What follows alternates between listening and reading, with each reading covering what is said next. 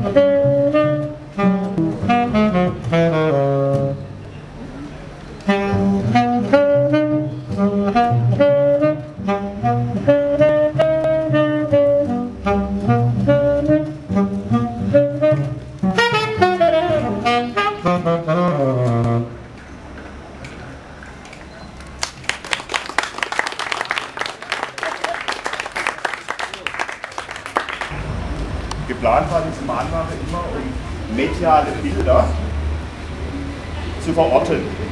Ein Problem, wo wir haben, wir sehen wahnsinnig viel, wir wissen gar nicht mehr, ist das Tatort, ist Realität, was das Killerspiel oder sonst was. Ja? Und ich denke, das war auch Sinn und Zweck dieser, oder ist einfach Sinn und Zweck dieser Mahnwachen, das hier zu verorten, lokal, was global passiert. Ich möchte Ihnen jetzt das Wort geben.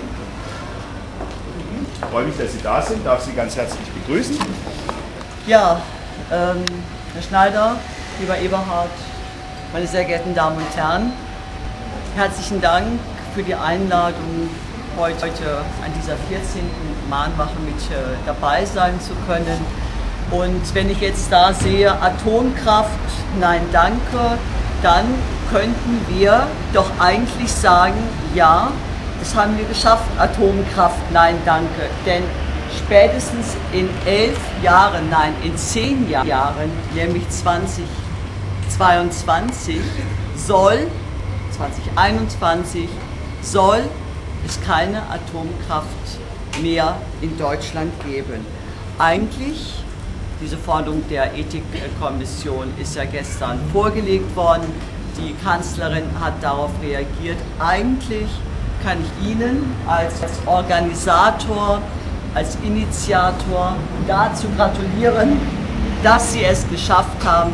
Wir werden keine Atomkraft haben. Doch was ich bedenklich finde, ist, dass dieser Konsens, der jetzt vorgelegt wurde, ja schon mal vor elf Jahren, nämlich von der damaligen rot-grünen Bundesregierung vorgelegt worden ist. Und ich finde es fast unverantwortlich, dass wir nicht weiter sind nach elf Jahren als mit den Forderungen, die heute auf dem Tisch liegen, die jetzt ausgehandelt werden sollen. Wir wissen, natürlich, dass Fukushima hier den letzten Anstoß gegeben hat. Oft ist es wichtig, dass solche Katastrophen offensichtlich die vonnöten sind, um auch hier die Verantwortlichen in der Politik voranzutreiben. Und ähm, Sie haben das Bild von dem Bauern gebracht, der da jetzt dann nicht weiß, wo er hin muss.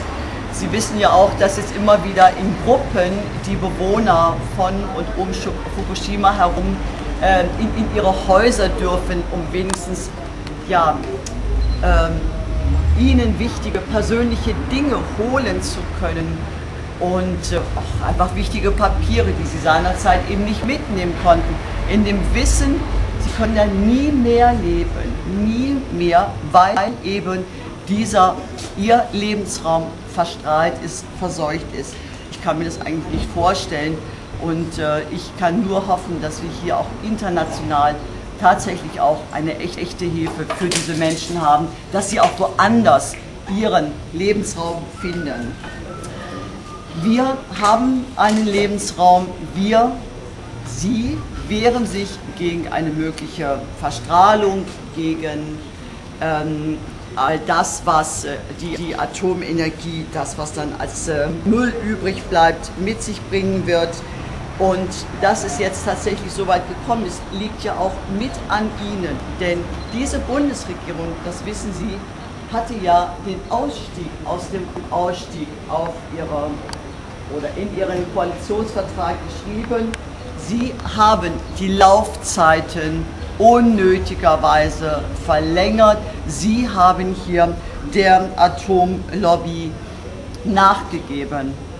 Ist jetzt alles in trockenen Tüchern? Haben Sie jetzt, haben wir jetzt alles erreicht? Ich denke, wir müssen sehr wachsam sein und ich glaube auch, dass auch in Zukunft solche Mahnwachen solche Bilder, von denen Sie sprechen, notwendig sein werden. Denn ich glaube nicht so recht an diese Veränderung. Da gibt es einfach noch zu viele Fragen in diesem sogenannten Atomkonsens und ich sehe hier die Antworten noch nicht. Mir sind so Dinge suspekt wie Standby-Modus eines Kernkraftwerkes technisch gesehen ist es gar nicht möglich, sofort auf einen Bedarf an Energie zu reagieren. Ein Kernkraftwerk braucht mindestens eine Woche. Das heißt, ich muss auch wieder andere, zu anderen Kraftwerken möglicherweise zurückkommen, um hier eine äh, Sicherheit an äh, Energie zu gewährleisten. Bislang sind ja auch Atomkraftwerke eigentlich nur dann sinnvoll für die Grundlaststrom, aber nicht für Spitzenzeiten, für Engpässe, die dann plötzlich auftreten. Und dann hat es auch für perfide etwas vorzuhalten, was mindestens 50 Millionen Euro pro Jahr kosten würde. Also das sind sicherlich auch so Ungereimtheiten und da bin ich auch sehr gespannt, was auch jetzt hier die Regierung dem Parlament vorlegen wird. Denn bislang haben wir darüber noch nichts gehört. Ich denke, wir müssen hier weiter, wie ich es gerade schon sagte, wachsam bleiben und für eine echte Energiewende werben. Und die ist möglich. Nur, wie ich ja vorher schon sagte, vor elf Jahren waren wir schon mal an diesem Punkt und haben leider diese Zeit nur halbherzig genutzt, um in erneuerbare Energie, das war in ihrer Gesamtheit, zu investieren, die zu erforschen. Wir wissen es. Das ist jetzt die Sicht auf, den, auf die nationale Situation. Wir haben aber, oder auch gerade wir auch im Grenzbereich, sollten auch einen Blick auf die mindestens europäische Situation werfen. Wir haben 143 Kraftwerke, Atomkraftwerke in der Europäischen Union. Und ich denke, da sind Sie auch mit mir einer Meinung, dass es hier 143 Atomkraftwerke zu viel sind. Das heißt also, wir müssen auch hier oder gerade auch in dieser Frage europäisch denken. Denn Sie wissen, während die Bevölkerung in Deutschland in ihrer überwiegenden Mehrheit die Atomenergie ablehnt, ist, es eine, ist die Zustimmung in Frankreich genau umgekehrt hoch. Und als ich vor einigen Monaten oben in der Normandie in La Hague war, dort wo die Brennelemente ähm, aufbereitet werden, da gab es keine Protestschilder gegen die Atomkraft, sondern gegen Windkraftanlagen.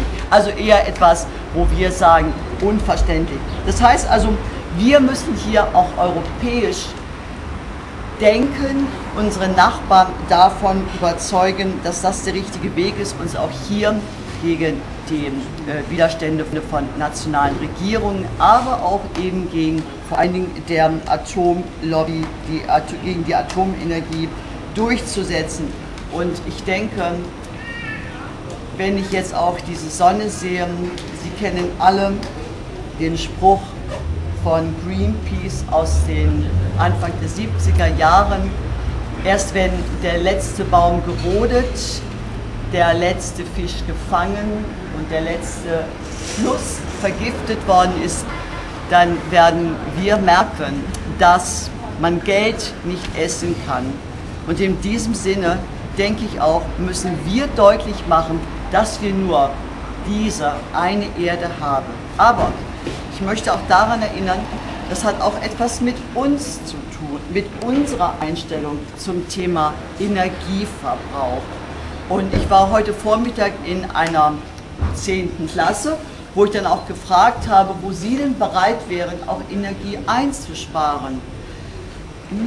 Es wurde sehr zurückhaltend nur beantwortet. Das heißt also, auch wir müssen akzeptieren, wenn wir denn auch Energie aus erneuerbaren Energiequellen haben, dass die transportiert werden müssen, dass Windkraftanlagen natürlich in schönen Landschaften nicht unbedingt äh, unserer Ästhetik äh, zugutekommen, müssen wir bereit sein zu sagen, ja, wenn wir keine Atomkraft wollen, keine Energie aus Atomkraft, dann brauchen wir tatsächlich dann auch durchaus auch Anlagen, hm, die wir nicht immer sehr schön sind, die uns möglicherweise stören.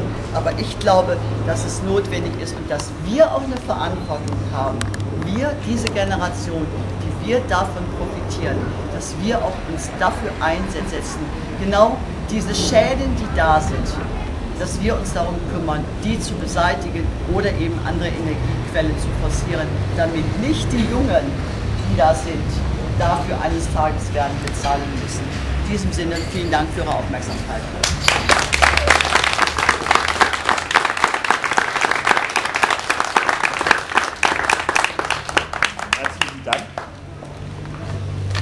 Es sind ja ganz viele Junge da, was Sie ja auch gesagt haben, und diese Initiative lebt einfach auch von diesem Generationsübergreifend. Deshalb ist das auch mit sehr viel Hoffnung verbunden. Und äh, diese Gestaltung ja, der Zukunft, das ist wirklich ein riesiges Anliegen. Ich fand es toll, was Sie gesagt haben. Es ist eine Anfrage an uns, wie gehen wir weiter mit Energie?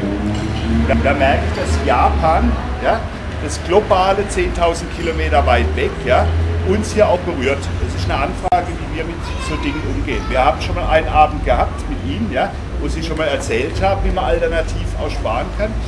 Und für mich ist eigentlich so die Frage, wie machen wir hier weiter, war auch das letzte Mal, ja, wie können wir über die Mahnwache hinaus uns genau mit solchen Fragen auseinandersetzen. Wachsam sein, das ist auch der Sinn dieser Mahnwache. Ja, und das ist, denke ich, auch ein ganz wichtiges Zeichen. Ja, in diesem Sinne darf ich jetzt noch hinweisen, die äh, Jessica und der Eberhard haben mir das gegeben, einmal auf Verlautbarungen, die heute jetzt unmittelbar gekommen sind, auf, äh, auf das, was die Bundesregierung heute Nacht beschlossen hat. Einmal war aus, ausgestrahlt.de, setzt sich da sehr kritisch mit auseinander. Man soll an Abgeordnete im Bundestag ein Protestpäckchen schicken und sie dann daran erinnern, dass die große Mehrheit der Bevölkerung umgehen, aus der Atomenergie aussteigen soll. Aber ich darf gerade was ja, sagen. Ja, ja, ja, da deshalb darf man vor allen Dingen natürlich dann auch an die äh, Kolleginnen und Kollegen der, äh, der CDU, CSU ja, ja, das, und der FDP das, schicken. Das ja. denke ich schon, ja. Ich fand es jetzt nur spannend, weil hier gerade eine Bundestagsabgeordnete neben mir steht. Ich mit, Habe ich das jetzt als erstes, Gut, gut. nicht um Ihnen, Ihnen mitzugeben, aber ich habe viel mehr Zeit, ein assoziatives Denken. Informieren Sie sich über die ab Pfingst geplanten Blockaden von Atomkraftgegnern. Ich entnehme diesem Schreiben, dass die Mahnwachen bundesweit weitergehen. Ja? Also, äh, Eberhard. Oder? Das stimmt so, die Mahnwagen gehen weiter. Also von daher, Jessica, steht ihm alles nichts im Wege, dass wir hier erstmal weitermachen. Was ich aber glaube, wir müssen es doch mal verändern. Also nicht die Mahnwache, sondern wir müssen zusätzlich noch was machen. Ja? Dann hat Greenpeace sich sehr kritisch geäußert. Ja? Kann ich mal kurz vorlesen. Greenpeace, das ist von heute Mittag eine Stellungnahme. Greenpeace reagiert bestürzt auf den Atomdeal zwischen den Koalitionsparteien von heute Nacht. Entgegen dem Versprechen von Bundeskanzlerin Merkel, aus der Atomkraft so schnell wie möglich auszusteigen, sollen die letzten deutschen Atomreaktoren frühestens im Jahr 2022 vom Netz gehen. Es bleibt unklar, ob ein parlamentarischer Beauftragter für die Energiewende eingesetzt werden soll. Damit könnte den Atomkonzernen Tür und Tor geöffnet werden, den Atomausstieg noch weiter zu verzögern. Greenpeace sagt, absolut inakzeptabel. Ein Ausstieg bis 2022 ist nicht der schnellstmöglichste, den sie versprochen hatte, also die Frau Merkel, sondern ein unverantwortlich langsamer Ausstieg. Merkel hat ihr Wort gebrochen und nichts aus Fukushima gelernt. So setzt sie Millionen von Menschenleben noch elf Jahre unnötigerweise einer hohen Gefahr aus. Das ist die Stellungnahme erstmal von Greenpeace. Auch das sind Gründe, dass wir hier weiter ja, äh, ein Stachel in der Stadt bleiben. Heute kommen leider keine äh, Politiker hier durch. Ja? Ansonsten ja immer Stadtratssitzung und die mussten dann immer hier durch bis halb sieben. War schon spannend, ja? auch so die Gesichter danach zu sehen. Ja, soweit mal. Wir machen weiter. Wir überlegen, was wir noch tun können. Ich denke, das ist ein Thema unserer Generation mit eurer Generation zusammen. Wir haben eine Verantwortung für eure Zukunft. Ich weiß nicht, ob ihr Felix Finkbeiner kennt. Kennen Sie den? Ein zwölfjähriger junger Mann, der im neun Jahren zum ersten Mal ein Referat in der Schule gehalten hat festgestellt, welchen Ökochaos wir leben. Und der hat dann begonnen, Bäume zu pflanzen.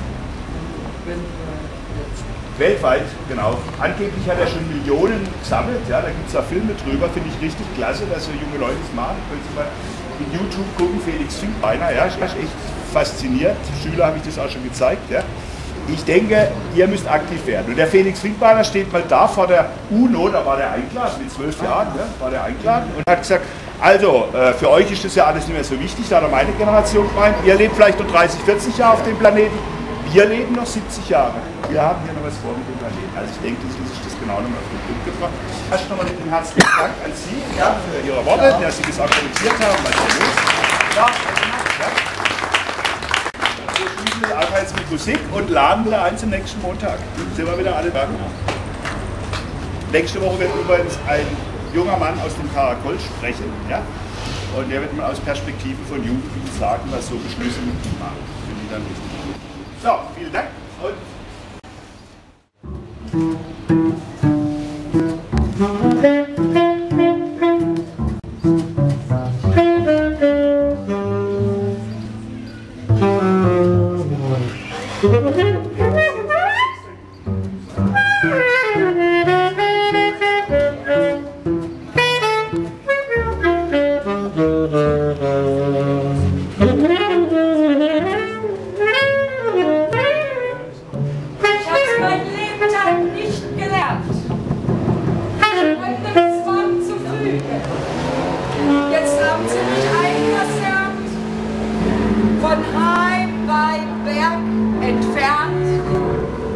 mich erschlügen, sich fügen, heißt lügen.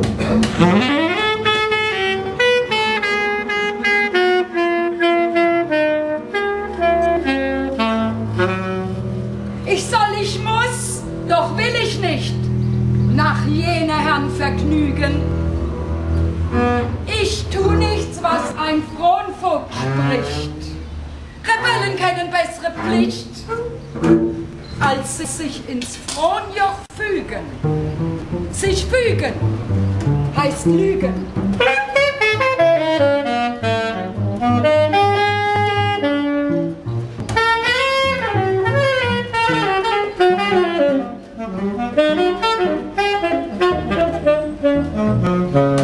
Der Staat, der mir die Freiheit nahm, der folgt mich zu betrügen, Ich soll dem Paragraphengram mich noch in Fesseln fügen. Sich fügen heißt lügen.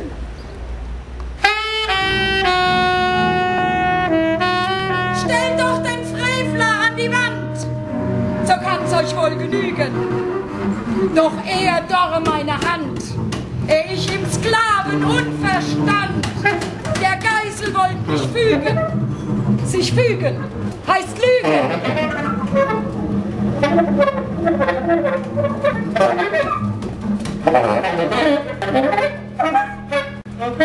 Doch bricht die Kette eins der zwei, darf ich in vollen Zügen die Sonne atmen. Tyrannei, dann ruf ich in das Volk, sei frei, verlern es dich zu fügen.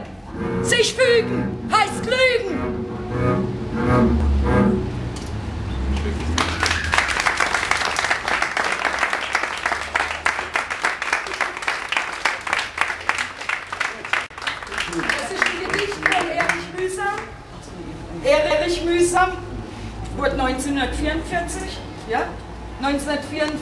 Von den Faschisten erschlagen, als er inhaftiert wurde und sich geweigert hat zu funktionieren, wie Sie sich das vorstellen.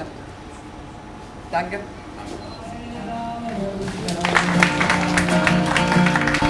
Es, lebt sich schlecht auf nem verstrahlten Stern. Aller Wahrscheinlichkeit nach ist dies die beste aller Welten. Planeten wie die Erde sind im Weltall eher selten. Aller Wahrscheinlichkeit nach Planeten wie die Erde sind im Weltall eher selten.